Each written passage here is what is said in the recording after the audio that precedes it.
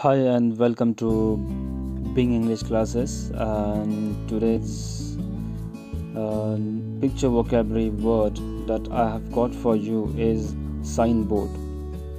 Now, here in front of you, will see there is something kind of a triangular object, right? Uh, this particular um, triangle, red color bordered triangle, is called as signboard